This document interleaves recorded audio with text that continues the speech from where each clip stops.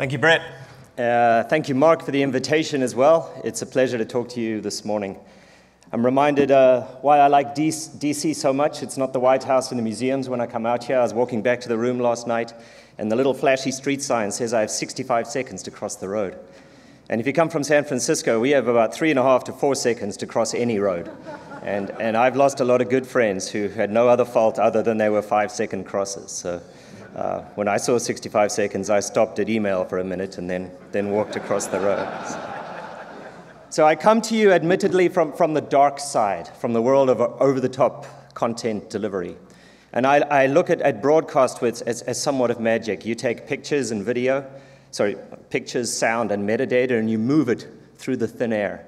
And you may look at us, and we take pictures, sound, and metadata, and we move it through these pipes and tubes, as you refer to. So both of us have a technology, and neither side quite understands it. And there's a fair amount of ignorance on both sides, of which I'm a poster child. I came to the boot camp yesterday.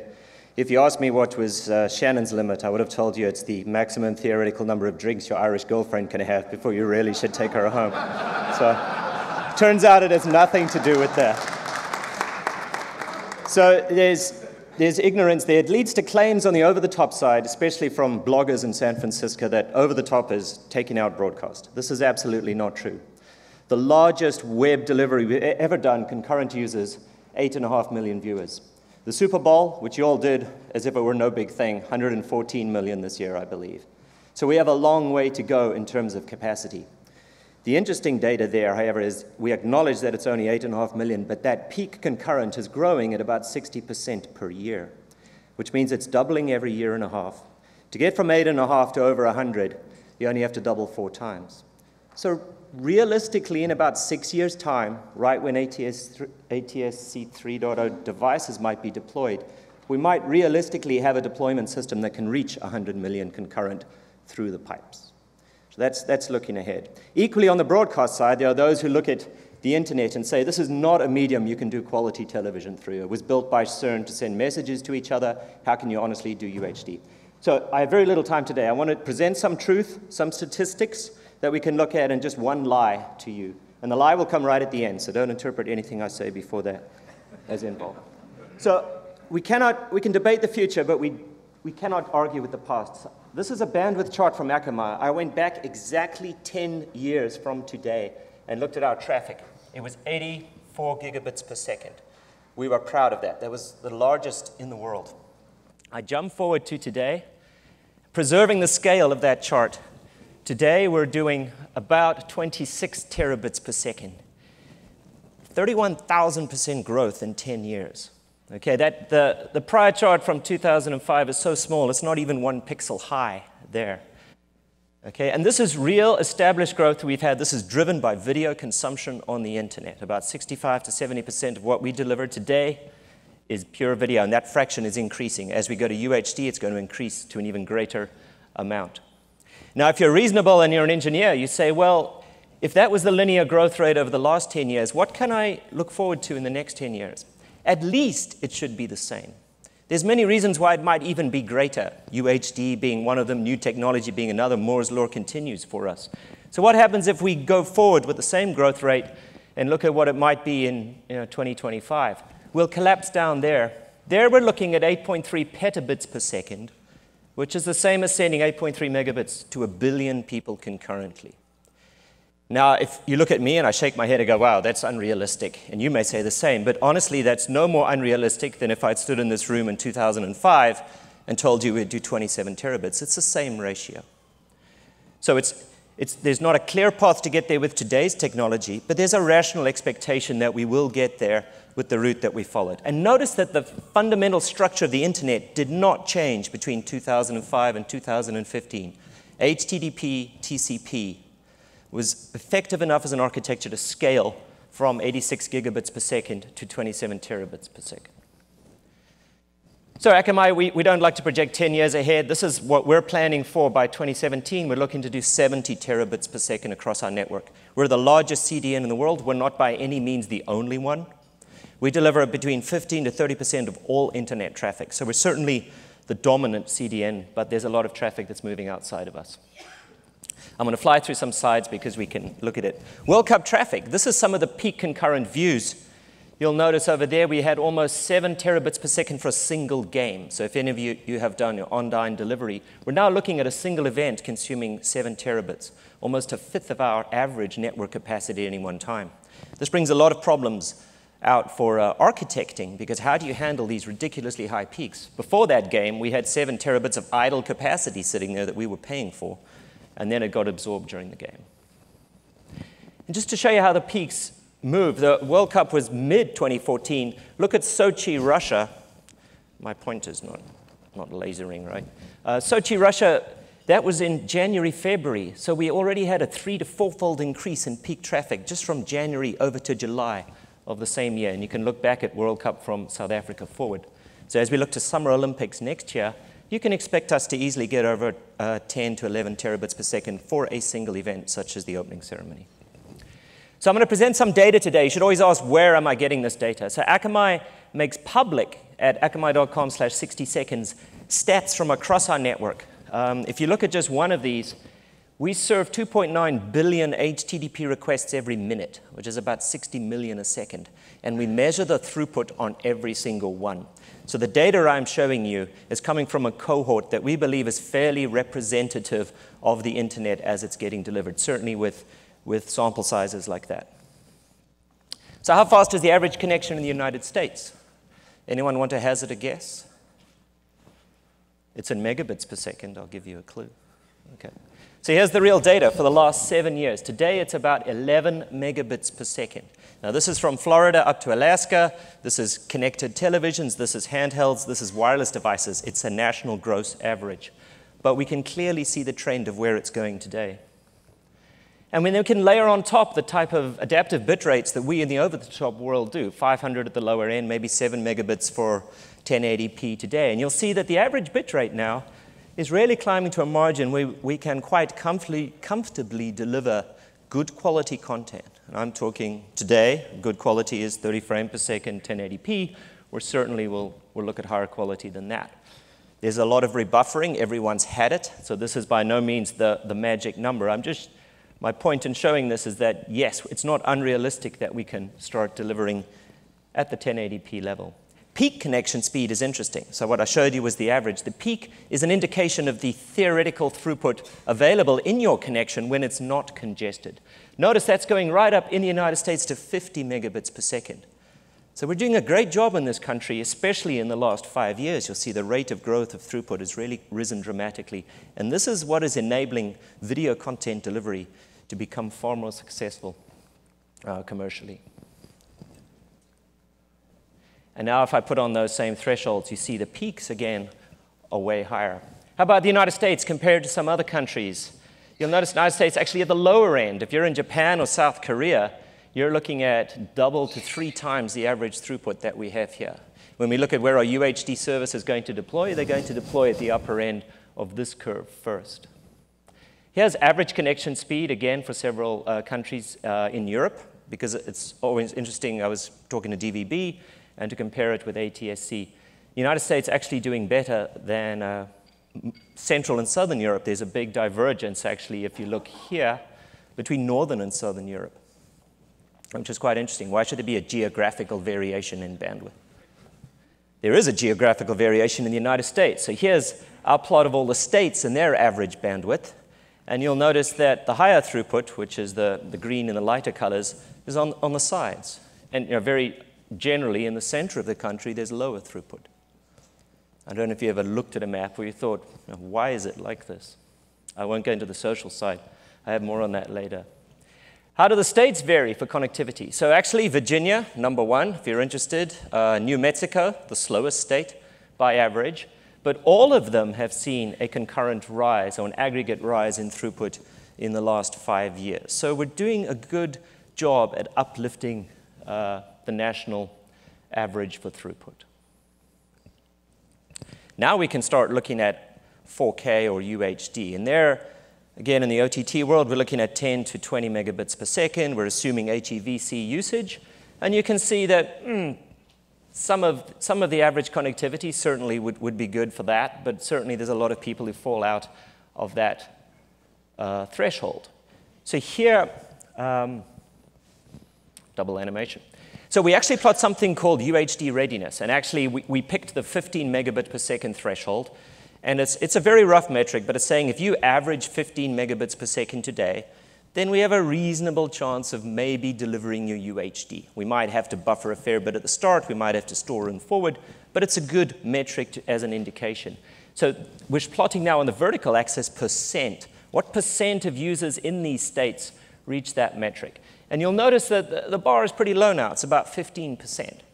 But it's not zero. And 15% of 240 million people is a good audience. So we, that's why you see Netflix, that's why you see Hulu, that's why you see Discovery Channel, and a bunch of uh, other content owners starting to experiment with some portion of their catalog at UHD size over the top. And you can afford to experiment very easily over the top because you don't have the requirement to deploy a new tower. You don't have to deploy terminals that talk to each other. You can do these one-off experiments very quickly and very easily. And that's one of the advantages that over the top has when it looks at new technologies and their adoption. So we can do some simple high school projections. Here's that same average connection chart that I showed you uh, previously. We can draw a straight line out and we can try to guess what the average bandwidth is going to be at the end of 2015 probably be about 15 megabits per second. We go out another year, 18, and maybe by end of 2017, we're looking at 23 megabits per second. These are rational projections based upon the last five years. Now, the curve actually may look more like this, because remember, we have Moore's Law, we have technology, Cisco's making faster routers, uh, and that gets interesting. So we're comfortably out of the OTT range for delivering HD, and we start getting into a very interesting area where maybe within 2016, 2017, the national average is high enough that the, that fraction of the audience to which we can seriously consider streaming UHD content at 15 megabits per second or more uh, will be large. Other browser stats. This is interesting to me, and, and, we're changing subjects from throughput over to something MSE EME. You may have heard those words, they, they came up in the boot camp yesterday. What they represent is an opportunity to establish a common player framework. What I want to show you is, is in the browser, again, these are all the browsers hitting our network. Look at how dominant Google Chrome has become uh, recently. This data is taken from February of this year. And plotted a different way, here are their browsers, and I bracketed them with the ones that support MSE already. So 50% of the web already supports this today. This means we have the underpinnings of a common player framework that we can use. And diversity of these players has always been one of the problems that plagues OTT. And these same players can play inside televisions, and there's a big initiative to make it work that way. Um, so this is happening today. So what are the forcing functions then? What threatens our over-the-top future and, and what brightens it? So on, on the threatening side, obviously the arrival of UHD. It's hard enough to do it with broadcast. It's even harder to do it over one of these pipes or tubes. Um, there's a large audience that is shifting viewer consumption. We'll have other metrics, I believe, on the speakers today that, that, that show, you, show you that.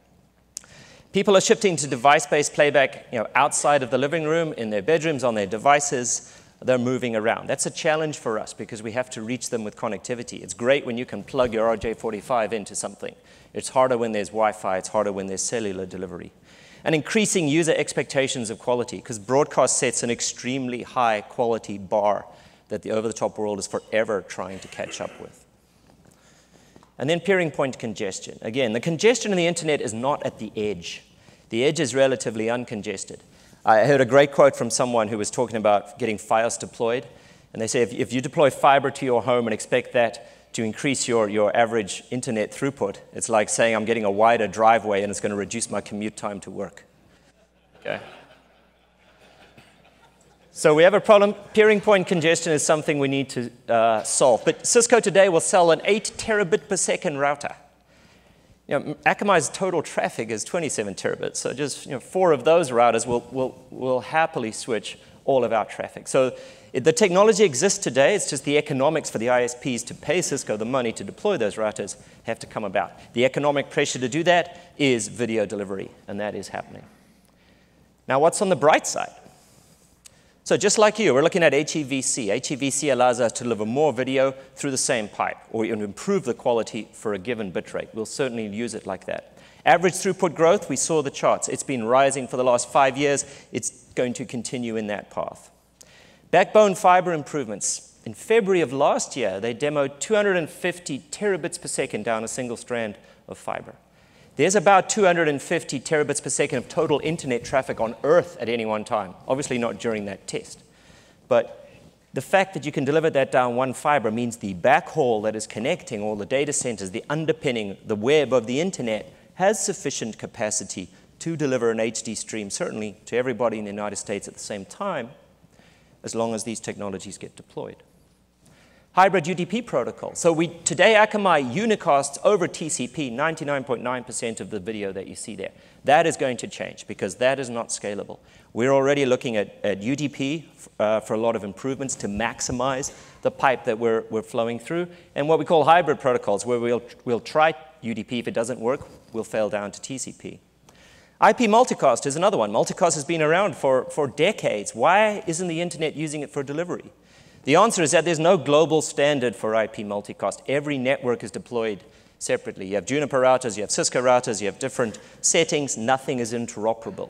So Akamai has to do the hard work of going out to a network, convincing them to allow us to participate in the IP multicast strategy. So it's a business and it's a technical challenge to get it out there. But we'll certainly make use of it. There's enough pressure today to leverage IP multicast. P2P, had a dirty taste in everyone's mouth from BitTorrent, which is unfortunate because as an architect, P2P is a very effective distribution solution. Your nodes for distribution rise in proportion to the audience you need to serve, and then they go away magically when the event is over. You don't pay for the capex and the opex to keep them running. So P2P is efficient, but P2P is also riding on the back of somebody. It's riding on the pipes and the, and the IT knowledge and the setup of an ISP. So the only way to make it work at scale is if your P2P solution involves the ISP, if it's actually good for the ISP's network. And why might it be good? Because it'll stop traffic peering outside of their network, which is something they have to pay for. So P2P done right and done in cooperation with an ISP is a very interesting technology for um, distributing, especially live video, concurrently viewed video. HTTP 2, just like you've had a 20-year improvement to ATSC 1.0, the internet is undergoing an improvement from HTTP 1.1 over to HTTP 2.0. It's an improvement in throughput. That alone will give about a 15 to 20% improved throughput on a connection for large video files as we switch from 1.1 to 2. Akamai is going to deploy HTTP 2 across our network this summer. It will be the biggest deployment in the world of it. Standards. I'm a big fan of MPEG Dash. Uh, I'm a big fan of standards, actually. Dash happens to be the, the best open standard for adaptive delivery today. But we fight the fact that there's four different ways to send adaptive media to devices. That means encoders have to divide by four the effort they put into any one format. Player builders have to build four different players. Televisions have this complexity of what to support when we can all focus on a single standard. Doesn't have to be the best one in the world. It just has to be the fact that we focus on it, we agree on it, and we work together on it. Because the customer does not care what format we use to send video to the device. They care about how fast it starts, whether it buffers, and what it looks like.